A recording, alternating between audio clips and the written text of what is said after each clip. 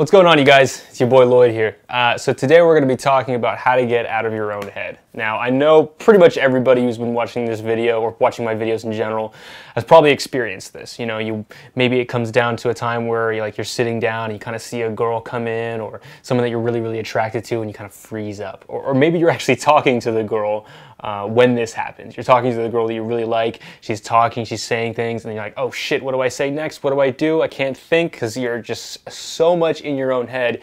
You're psyching yourself out. Um, you get this paralysis by analysis, um, and then you, you don't end up doing anything. She leaves, you feel embarrassed, um, especially if you've been talking to her, and that happens. So, you know, you don't know how to deal with these things uh, when they come up. So, you know, it's a real problem for a lot of guys, and it's something that I talk about with my students a lot, and that I'm actually going to be covering it much more in depth uh, tomorrow in the workshop that we're going to be doing. So, if you want to attend that, there's a link in the description box below. Uh, but if you want some just quick tips right now, just keep listening. So, what I think are some excellent things that you guys can start doing that are going to help you out with getting out of your own head is first just have a few go-to questions uh, to go to. So like, you know, I have the video on five questions I ask every girl when I'm out. Um, have those questions memorized, you know? Who, who are you? Where are you from? Uh, what do you do? Uh, what are your interests? Um, sorry, like, what do you like to do for fun? Um, those kinds of things. Or, you know, what are you up to today? How's your day been so far?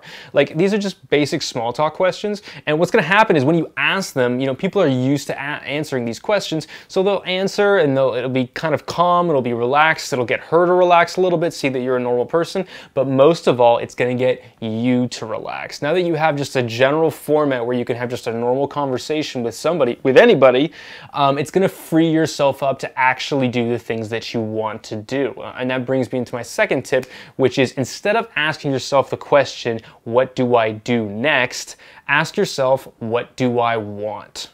And this is a pretty deep thing for a lot of guys. I would say most people who struggle with women, they don't know how to ask this question. Women are very, very drawn to a man who knows what he wants, but if you're in your own head, it means you're unsure. It means you're second guessing yourself. It means you're trying to think of the right thing to do, which is really what we've been trained ever since we were kids. You know, as boys, you know, primarily uh, we've been raised by women who have been, you know, telling us to stay in line, ask, raise our hands to go to the bathroom, don't do this or you're gonna get in trouble. You know, whether it's a school teacher, whether it's your mother and an absentee father, or I don't know what your family household was, uh, but generally we're brought up in these environments. And so a lot of guys do is they grow up trying to not get in trouble. They don't think for themselves, they don't go for the things that they want, and as a result, when they're faced with these situations where they have to act like a man, uh, they just can't do it.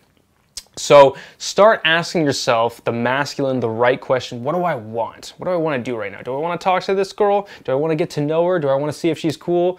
Maybe I want to give her a hug. I don't know. It, it, it could really depend on um, what it is. Now, obviously, you can't just, if you want to have sex with her, you can't just go do that. So there are some rules and manners that we have to go by, obviously.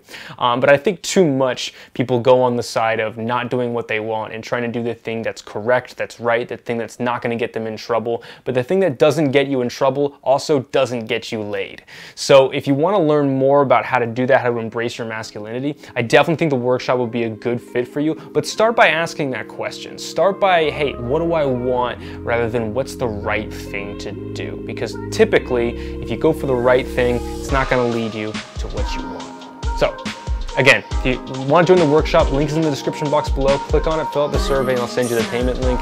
Thanks for watching, you guys, and I'll see you soon. Good luck out there.